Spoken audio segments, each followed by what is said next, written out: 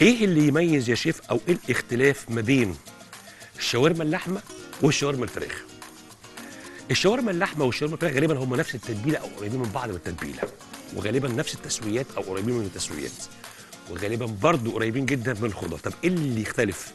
أقول لك الفراخ بتبقى دايما بطبيعتها زفرة أو إن هي يعني بيبقى محتاجة شوية تتبيلة زيادة شوية فبنحط لها خل وبنزود لها بهارات شوية لو حسينا كده أو كده وبنديها taste توم شوية زيادة مع الخل. وأكيد في ليمون. أما ال- ال- الشاورما اللحمة عشان أستفيد كده وأستطعم بكل حاجة جواها بحط لها taste حلو قوي. بحط لها عندي كوباية عصير برتقال. بسم الله الرحمن الرحيم. كده؟ أو نص كوباية حسب اللي عندي يعني. تمام؟ وببدأ أحط عليها كل اللي أنا عايزه كله لكن بزود من عندي أنا بقى على البرتقال ليمون. بسم الله. كده؟ وبحط عندي كمان زيت. عباد شمس أو ذره عشان يبقى معايا حاجة طريه تبقاش ناشفه وفكرة فص توم حلوة أو معلقة توم حلوة كده في النص تنزل كمان حتة. ماشي الكلام لحد كده. وأجيب المضرب بتاعي وأبدأ أحط البهارات واحدة واحدة. نحط كمان اللبن الرايب بدل الزبادي. ونجيب عندنا معلقه ونبدأ نحط البهارات. إيه البهارات اللي عندنا؟ أول حاجة بنحط بسم الله الرحمن الرحيم ملح كمان سنة. ونحط عندنا بهارات حلوة للشاورما معلقة حلوة كده وبحط عندي حبة حبة عين مطحونين وبجيب عندي برضو سن بابريكا لو حبيت تدي لون حلو كده تبقى ليها تيست كويس كده وكمان ممكن نضيف عليها لو حبينا لو حبينا سنة أعشاب ودي يعني مش شرط أنا بس بحاول أغير شوية تيست شوية. طيب بعد كده المضرب بتاعنا ونبدا نقلب كويس جدا. بسم الله ممكن نزود مية بصل ممكن ممكن نزود مية طماطم ممكن بس أنا عايز أمشيها في المعقول أو زي ما حضراتكم شايفين كده بالتفاصيل دي. كده؟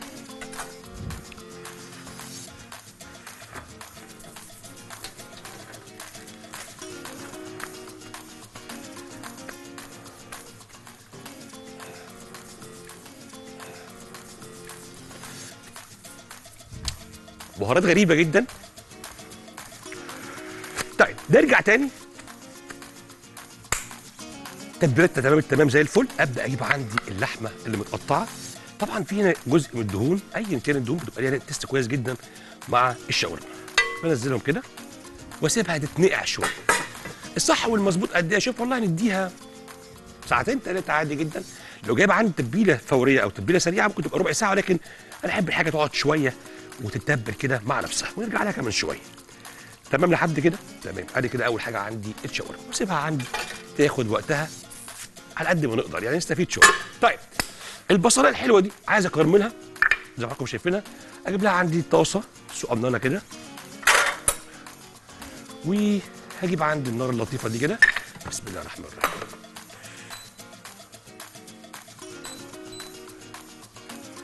وهنزل بالبصلاية لوحدها بس الأول كده خالص من غير أي شيء. ونسيبها شوية نشوف شكلها عامل إزاي. واحدة واحدة. ممكن نديها معلقه زبده أو معلقه سمنه حسب اللي عندنا لكن الفكرة بس تتكرمل معايا شوية. وأستاذ خالد أنت معايا يا فندم ولا فين؟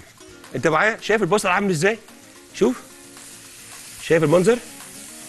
بدأ ياخد اللون عامل إزاي؟ خدت بالك؟ هي دي الكرمله حلو الكلام. نجيب بقى المبط. أمال إيه؟ نعم. شفت خدتك عند الطاسة عشان آخد المبط. طب يلا. معلش إحنا في مطبخ والمطبخ يعني خلينا طبيعيين. معلقة سمنة على البصلاية المكرمله أو مكعب زبدة. أهي نسيبها كده وتعيش معاها. ماشي الكلام؟ الخضار هنبدأ نسوي الخضار واحدة واحدة على ما نصفي الشاورما. والشاورما تصفيتها الصراحة عشان زي ما اتفقنا التتبيلة يعني ما تبقاش معايا في قلب الطبخة يعني ولكن اكون استفدت منها بشكل يكون كبير بعد إيه؟ زي ما اتفقنا على الأقل ساعتين من التتبيلة. وأنزل بيها كده هو الصفة براحتها خالص. حلو الكلام؟ كلام جميل. طيب الخضار بقى أخباره إيه؟ طاسة حلوة نظيفه لوحده. بسم الله. سن زيت حلوة.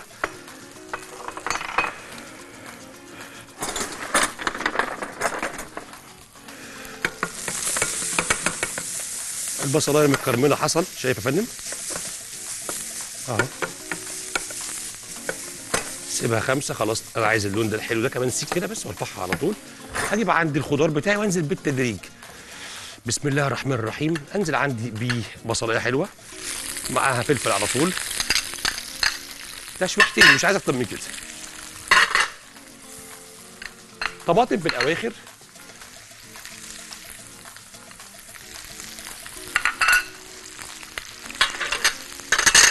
بسم الله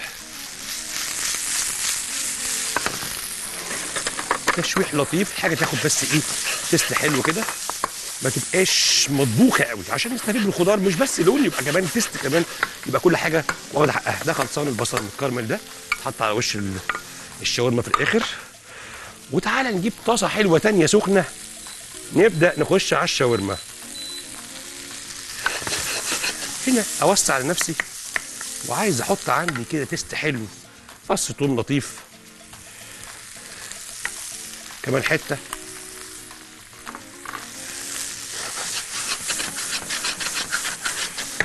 تمام. هاجي بقى عندي دي الشاورما اللحمة وأبدأ بعد ما صفيت بسم الله. على طاسة سخنة جدا من غير أي زيوت بسم الله. وأسيب الكلام ده كله مع نفسه. شوية لما يتلسع. والهدف منها زي ما إحنا عارفين هن شاورما مشوية. يبقى نسيبها شوية تتلسع. ونشوف حكايتها إيه. ميه تنشف في السريع وانزل بس حتة الدهن دي كده على جنب عشان تتلسع بسرعة معاهم. شايف يا فندم؟ ريحة التتبيلة باينة. الخضار عندي باين. طيب. صدور الفراخ يلا بينا نحطها على الشواية برضو تاخد وقتها في الشوي عشان بعد ما تتشوي إن شاء الله هبدأ هقفل عليها كل التركي بالجبنة الحاجات دي وأدخلها الفرن تاني.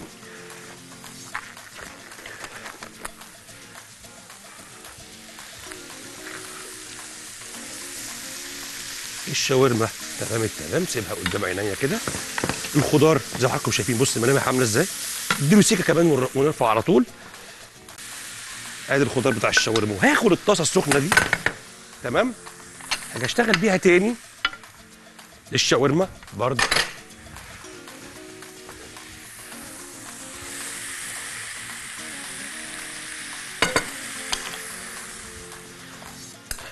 حالا.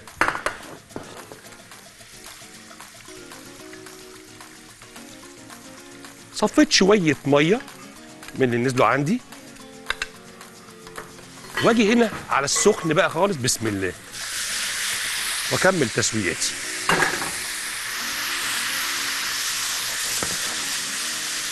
آه. أي حتة لحمة عندي أقدر اوصفها المهم أظبط تسويتي أهم شيء.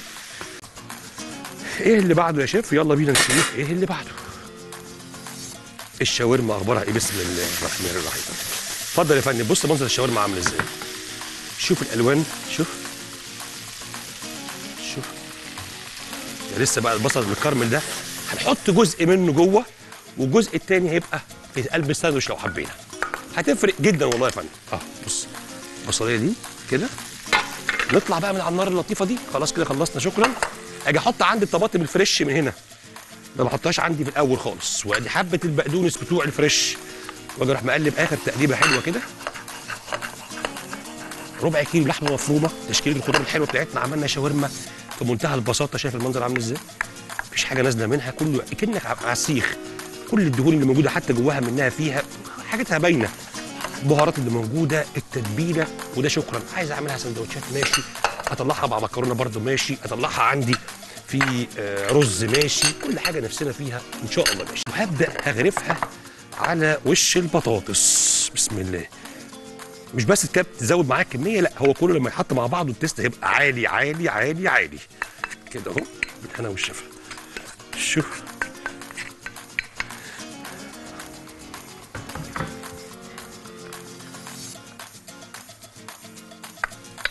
كده نكون عملنا طبقين شاورما.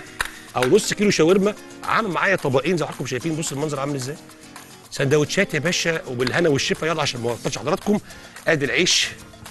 أهو. ده ينفع عشاء ينفع غدا ينفع اللي إحنا نفسنا فيه. بالهنا والشفا حضراتكم. اشترك في باقات واتشت الشهرية. بتبدأ من 14 جنيه و99 قرش. وباقات سنوية. بتبدأ من 149 جنيه و99 قرش.